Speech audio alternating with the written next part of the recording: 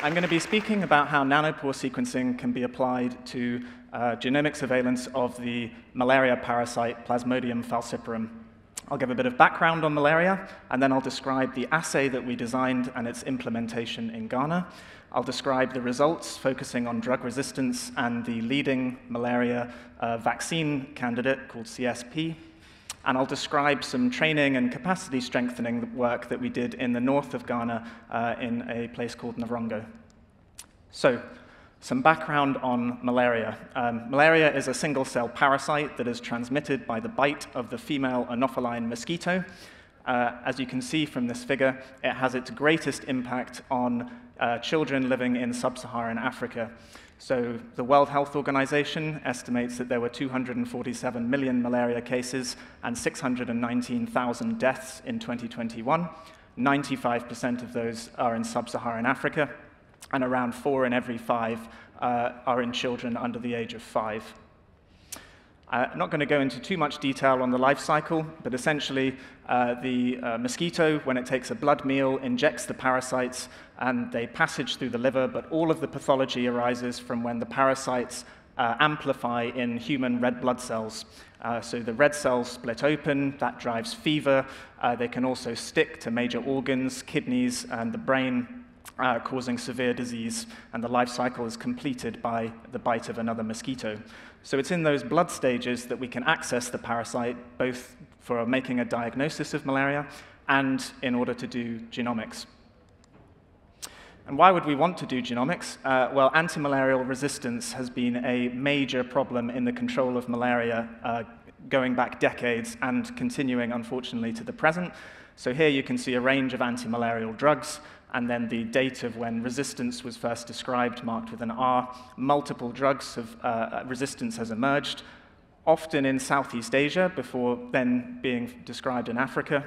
And the current frontline treatment for Plasmodium falciparum malaria is marked with the arrow called ACT, which stands for artemisinin-based combination therapy. Uh, and resistance was first reported, um, or at least partial resistance, in Southeast Asia in uh, the late 2000s, and in the last couple of years has been reported in East Africa. And the WHO has highlighted this as a major issue uh, and released this technical document, a strategy to respond to antimalarial resistance in Africa, highlighting the importance of surveillance in order to monitor for the emergence and spread of resistance. And uh, checking for resistance in malaria parasites is quite tricky. You have to get the parasite out of the blood, grow it in the laboratory. Sometimes it just doesn't grow. Um, so with genomics, you have a more scalable and affordable way uh, at population scale to monitor for resistance trends. Uh, in parallel with drugs, another major development in the malaria world in the last few years has been um, the rollout of the leading malaria vaccine candidate, RTSS. Uh, so this was uh, recommended by the WHO for use in areas of moderate to high malaria transmission intensity and is now being implemented in three countries, Ghana, Malawi, and Kenya, with a plan to roll out across uh, the malaria endemic world. Um, that vaccine targets an antigen called circumsporozoite protein, or CSP, which has a very repetitive region of four peptides, NANP, repeated um, up to 30 times, and then a C-terminal domain of the gene. Um, so being able to monitor for any changes in that gene as this vaccine becomes increasingly widely used is also desirable. So that leads me to the key study aims, and I've already mentioned um, my friend and colleague from the University of Ghana, Dr. Lucas Amenga and um, together we aimed to perform uh, nanopore sequencing in Ghana, and the, the kind of key philosophy behind this project was that absolutely everything from sample collection to processing to sequencing to bioinformatics, analysis, and final interpretation all needed to be done in Ghana, uh, led by Lucas's team um, and we wanted to build a platform that was sustainable, that had a pretty simple and straightforward workflow that could be implemented uh, in endemic settings. Using that method, we wanted to describe the prevalence of the major antimalarial drug resistance markers, the most well-characterized markers that we could really focus in on, uh, as well as diversity in that vaccine candidate, CSP. Um, and to engage in training and capacity strengthening by uh, having people in Lucas's team, both in Accra in the south and in a relatively um, more resource-limited setting in the rural north of Ghana in Navrongo, uh, working with the Navrongo Health Research Center to have them um, participate in the research and actually become part of what we were doing.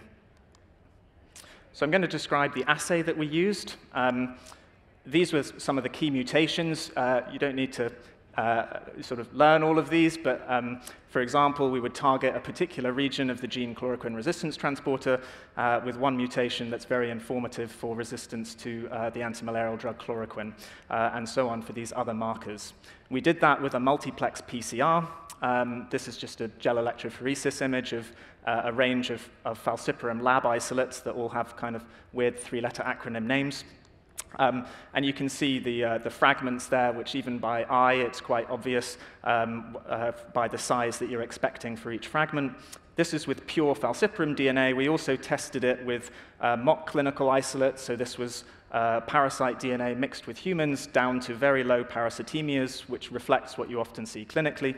Um, and we've also tried it with very low volume blood samples that you can get easily from the field.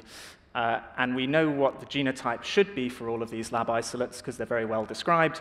And we found complete agreement um, using R10 sequencing chemistry, which I'll describe more in a moment, uh, with what we were expecting. So that uh, was very encouraging and led to us uh, testing the uh, sequencing assay uh, at these two sites in Ghana and West Africa Accra uh, in the south, the capital, uh, and Navrongo up in the north. Um, so literally opposite ends uh, with a lot of traveling between the two sites. Um, Accra is, is the capital. It's a very urban environment. We were working in partnership with a hospital, Lekma Hospital, um, where malaria is perennial. Whereas Navrongo in the north is a very rural area. We were working with um, rural community health clinics primarily, and uh, malaria is very seasonal, and we went during the height of the rainy season when transmission intensity is very high. Um, so because of the portability of nanopore, it meant we could work across these different ecological zones.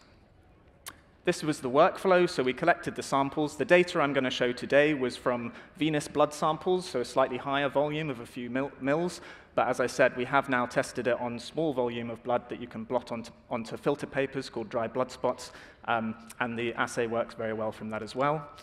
We extract the DNA, do the PCR, the nanopore sequencing, so that's all the wet lab side. Um, we had real-time base calling using super accurate base calling with Guppy uh, on some laptops that we brought with us with high-powered GPUs. Um, and then we had an informatics workflow called, which we called NanoRave, the Nanopore Rapid Analysis and Variant Explorer tool, um, where the reads are mapped to the reference sequences, which is the uh, drug resistance genes. Uh, we called variants using Medaka uh, haploid, uh, and then interpret the variant call files. And all of that was the real-time informatics side.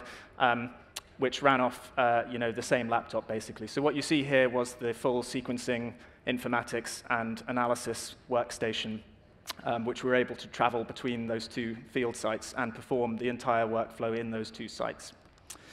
Uh, so for the kind of geeks in the audience, uh, I'm definitely one of them. Um, these were the specs of that laptop. So the GPU was a um, NVIDIA RTX 3080. Uh, essentially, that's just a high-spec gaming laptop. Um, and all of the sequencing was done on a MinION using the R10.4. And we've now started using the R10.4.1, uh, which is also working really well. Um, with the real-time base calling using MinKNOW, uh, and then the Nextflow pipeline that I've mentioned. So uh, here's the pipeline actually working. Um, we get the uh, read data produced from the real-time base calling. We then do some quality checks um, using some programs like Nanoplot. The key step is the mapping of those reads to the reference genomes, which happens using Minimap2.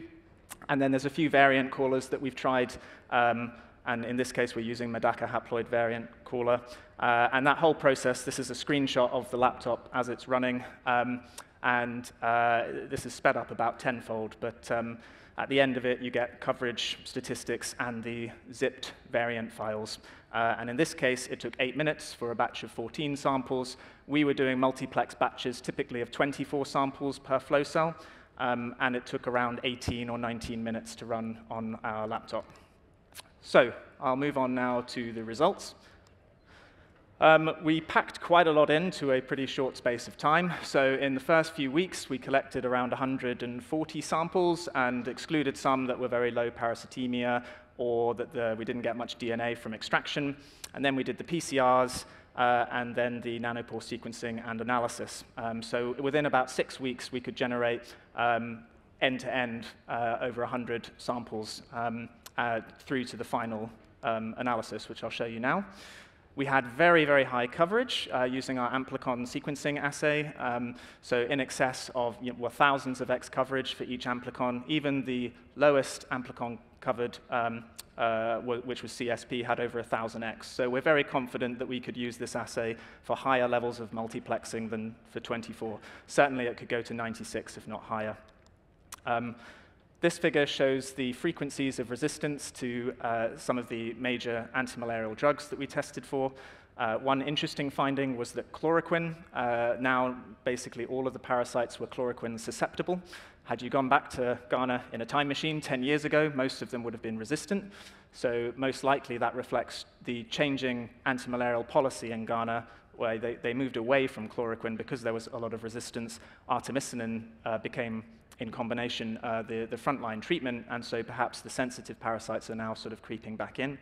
We didn't find any markers of resistance to artemisinins, which is the final column, um, so that's reassuring.